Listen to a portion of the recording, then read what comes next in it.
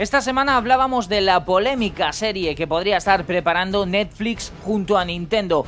Levantó la polémica entre los usuarios, eh, pero bueno, también es cierto que podía ser algo esperanzador, ya que eh, había referencias, grandes referencias, algo tipo Juego de Tronos, ¿no? Lo que nos podríamos encontrar con una serie basada en el universo de Legend of Zelda. Podría ser por fin una serie digna, pero bueno, vamos a seguir con esto porque sigue hablándose del tema. Nintendo no habla sobre ese hipotético salto a la televisión de The Legend of Zelda. Y ojo, digo que esto es noticia porque ni confirma ni desmiente.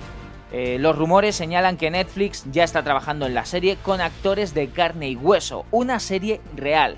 Ya han pasado unos días desde que nos surgió por sorpresa esta noticia y hasta el momento Nintendo no ha dicho absolutamente nada al respecto.